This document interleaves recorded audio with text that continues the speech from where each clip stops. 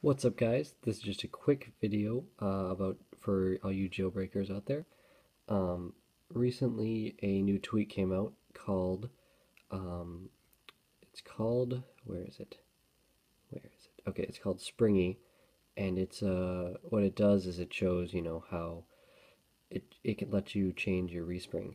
And if we go find it down here, um, if you go to the page for it, it shows this cool this video for this cool glitch animation that it does. Um, if we can, can we play this please?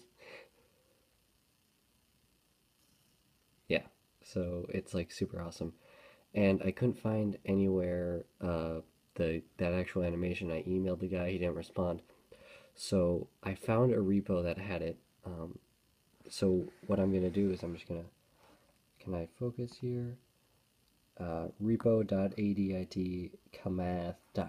Okay, so you're going to add that repo, and then you're going to search for it. It's called Glitchy, right there. Um, and it gives you that, um, whoa, voice crack. it gives you that, uh, that animation, and I'll show it to you real quick.